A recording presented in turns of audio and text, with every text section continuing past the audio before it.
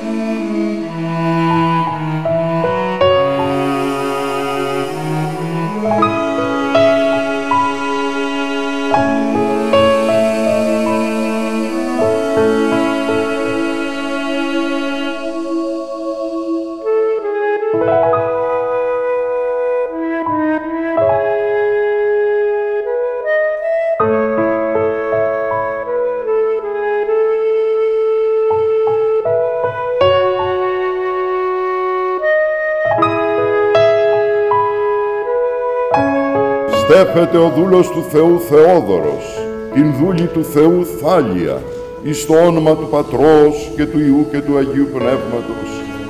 The servant of God Θεόδωρος is crowned for the servant of God Θάλια in the name of the Father, and of the Son, and of the Holy Spirit.